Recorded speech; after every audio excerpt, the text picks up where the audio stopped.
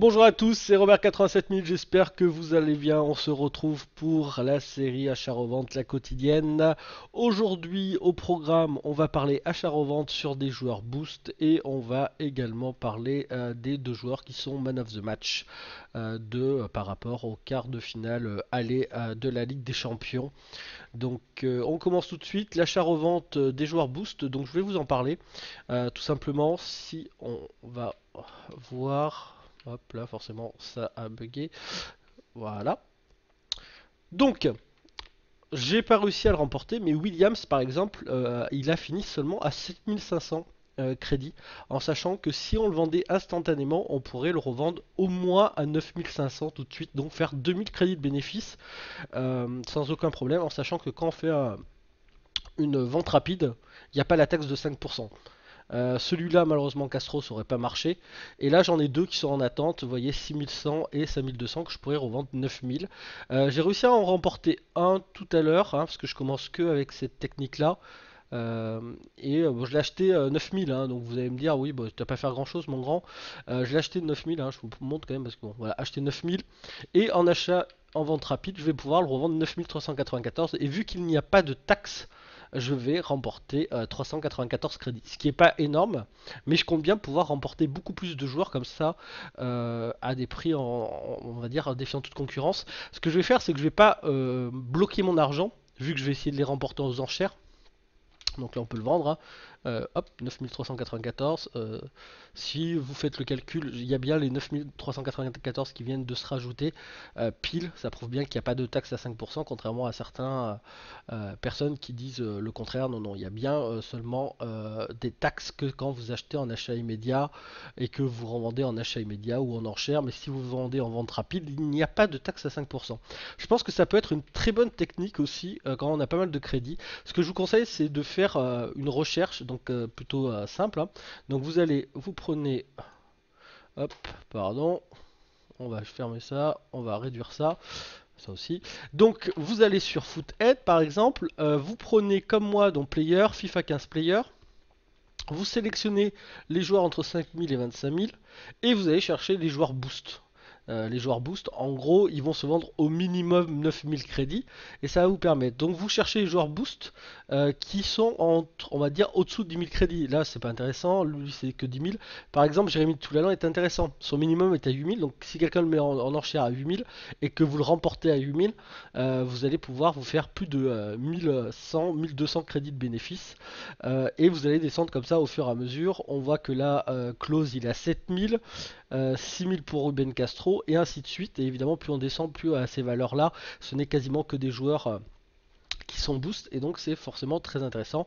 Tous ces joueurs là, vous regardez bien 5000, 7000 et vous allez vous faire une liste de joueurs de ces joueurs là qui sont entre 5000 euh, euh, et 8000 de minimum et vous allez essayer de les remporter aux enchères. Ce que je vous conseille c'est pas d'investir de l'argent dessus.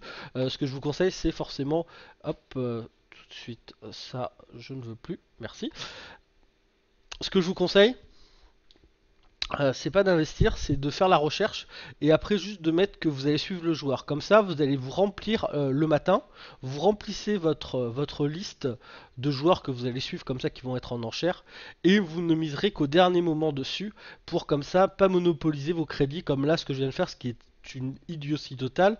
Euh, je me retrouve avec 6000 et 5200 crédits de bloqués pendant 1 heure et 1 heure 3. c'est complètement débile il faut absolument faire ajouter suivi. Tout simplement parce que vu que j'ai pas beaucoup de temps et que je ne suis pas forcément les ventes, je les ai j'ai mis dans, cher. Si vous êtes beaucoup plus euh, présent que moi euh, par rapport euh, au marché des transferts, je vous conseille de vraiment remplir la, liste. Hein. pour ceux qui savent pas faire, si on prend Eriksen par exemple, vous faites, vous cliquez dessus et vous mettez ajouter aux objectifs transferts. Comme ça, quand il va, arriver dans les dernières minutes derrière, vous ne miserez que vraiment au tout dernier moment et ça ne vous monopolise votre argent que pendant une, une minute au maximum. Voilà, ça c'est la, petite astuce pour essayer de euh, pas monopoliser tous ces crédits et être bloqué pour pas pouvoir continuer à faire de l'achat-revente. Ensuite au programme, je voulais vous parler aussi euh, des man of the match. Évidemment, ça va découler euh, des matchs qui se sont passés euh, hier soir. Porto Bayern, bon, ben, victoire 3-1 de Porto qui est plutôt grosse surprise. Quaresma qui est élu man of the match avec une carte à 82, donc faites de l'achat-revente sur Quaresma. En plus des joueurs qui font partie de l'ATO, Bolassi. Euh, qui c'est qu'il y a d'autres euh, Parce que je perds la, je perds la mémoire. Euh, Bolassi, on a dit qu'il était intéressant pour faire de l'achat-revente. On a dit Young, on a dit Benteke, on a dit Rosé Caleron, on a dit Andanovic, on a dit Danilo, c'est ça? Oui, parce que je ne connais pas très bien Danilo. Quaresma, vous le rajoutez dans les joueurs que vous allez utiliser pour faire de l'achat-revente. En plus de la technique que je viens de vous donner là pour les joueurs boost, je pense qu'il doit marcher plutôt bien sur PlayStation aussi hein, ou sur Xbox. Je pense que c'est exactement la même chose vu qu'il y en a beaucoup plus, je pense que c'est possible d'en choper euh, de temps en temps et en tout cas se faire euh, du bénéfice. Évidemment, si vous arrivez à en trouver un euh, qui se vend beaucoup plus cher et que vous avez en enchère, le revendez pas en vente rapide, mais revendez-les plus, tard. Mais hier, il se revendait pas. à 10 000, il se vendait quasiment pas, donc ça servait à rien. Si je le mettais à 10 000 avec la taxe à 5 000, ça me le faisait à 9 500 et encore, j'aurais mis je sais pas combien de temps à le vendre. Donc autant le vendre en vente rapide. L'autre joueur qui est man of the match, c'est Suarez. Euh, hier, match bien triste. Hein, euh, j'ai vu que tout le monde était en train d'encenser le, euh, Barça. Je me suis fait chier devant ce match. Je m'emmerde à chaque fois que c'est le Barça. passe à 10, j'ai l'impression qu'il faut un entraînement de conservation de ballon, on s'emmerde, ça accélère pas, ça avance pas. ils marquent 3 buts, mais au final ils ont pas 54 occasions. c'est vraiment un match très fermé. Euh, la seule chose où Barça m'a impressionné, c'est à la perte du ballon. Le pressing qu'ils étaient capables de mettre, les tacles, euh, l'intensité qu'ils ont réussi à mettre. L'intensité euh, de récupération de ballon était beaucoup plus importante. Donc en gros, normalement, les équipes s'économisent en défense et donnent leur maximum d'énergie en attaque. Le Barça est complètement en sens inverse, c'est-à-dire qu'ils donnent toute leur énergie pour défendre, pour récupérer le ballon le plus rapidement possible, et ensuite ils marchent. Prenez Messi, moi je veux savoir le nombre de kilomètres qu'il a fait hier soir. Il a marché quasiment 90% euh, du match. 90% du match, il marche. Euh, Suarez c'est quand même beaucoup plus actif, il marche moins. Neymar c'est un peu la même chose. Il s'économise, c'est incroyable. C'est-à-dire que les joueurs s'économisent quand ils ont le ballon. Et vu que cette équipe a 60 euh, à 70% le temps le ballon, ben, au final, ben, ils se reposent.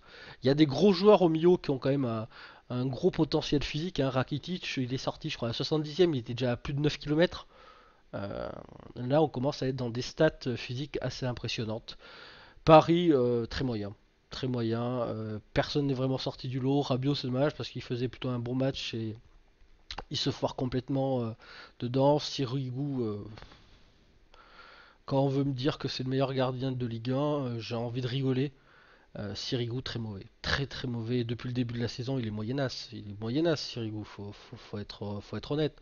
Le deuxième but, jamais il doit se le prendre. Alors peut-être qu'il s'est démis l'épaule. S'il s'est démis l'épaule et que c'est revenu, euh, bah, jamais le kiné qui vient sur le terrain lui dit de continuer. Évidemment, si, euh, si évidemment c'est sorti, c'est sorti au niveau de la scapula, ça sert à rien, même si tu remets. Euh, derrière ça servira à rien, ça tiendra pas parce qu'il va y avoir une inflammation qui va avoir euh, et une déchirure qui va s'être créée. Donc évidemment ton muscle va euh, être beaucoup moins résistant et sur la frappe de Suarez qui est moyennasse, il n'arrive pas à la conserver. en plus sur quand même il se fait une blessure sur quand même une frappe moisie. bien triste. le premier but de Neymar, je veux bien, mais le premier but est affreux. Neymar joue bien le coup, mais tout le monde sait où veut mettre le ballon. Il lui faut 3 heures pour se descendre. Alors on va dire que je suis trop méchant avec Sirigu. Non, pour moi, euh, le premier but, qu'il se le prenne de n'importe quelle autre façon, comme le dernier. Le dernier, euh, Suarez, il arrive, il le fixe, il met pleine lucarne, ok. Mais Neymar qui arrive comme ça, euh, de la gauche et qui rentre vers la droite, qu'est-ce qu'il fait? Il fait une tirée Henri, quoi. Il enroule, il la met juste à ras de terre. Il n'a pas beaucoup de choix. Encore, il tire premier poteau en, en l'enroulant pied gauche ou je sais pas, il dribble le gardien c'est quelque chose de particulier. Le gardien, s'il te la prend, tu peux pas lui en vouloir. Là, tout le monde sait. Tous les gardiens, normalement, doivent couvrir à cet endroit-là. Il couvre son premier poteau. Et euh, dès qu'il commence à voir ouvrir le pied, tu commences à te baisser pour pouvoir récupérer le ballon. S'il te dribble, bah, c'est bien joué de la part de Neymar. Mais vu que la plupart des joueurs ont le cerveau à peu près d'un petit poids, bah, ils vont faire à 90% le même geste Et ils vont pas essayer de tenter des choses farfelues, surtout en quart de finale de Ligue des Champions. Donc non, Sirigu, 2 sur 10. 2 sur 10, c'est toute l'équipe du Paris Saint-Germain, 3 ou 4 sur 10, pas beaucoup plus. Dommage que la frappe de Cavani ne rentre pas. Parce que là, il a mis une cacahuète. Hein. Si, euh, si a été mauvais, euh, Ter Stegen, sur cette frappe, quand même, il est complètement masqué, il arrive à sortir. Il n'a pas eu beaucoup de travail, le copain, mais euh, sur cette frappe, c'est juste un arrêt monstrueux. Voilà, c'est tout pour cette vidéo. J'espère qu'elle vous aura plu. tout de suite derrière, je vais vous faire la vidéo sur les paris sportifs. J'espère aussi qu'elle vous plaira. Pensez à mettre des j'aime, pensez à la partager, à vous abonner, à faire tout ce que vous avez envie avec. Comme d'habitude, je voulais vous remercier à être déjà 1000 à me suivre sur Facebook et ça je vous en remercie parce que je pensais pas arriver à 1000 aussi rapidement. Je sais pas ce qui s'est passé sur Facebook là, il y a je sais pas. Voilà, allez, je vous fais des bisous à tous. Ciao les gars.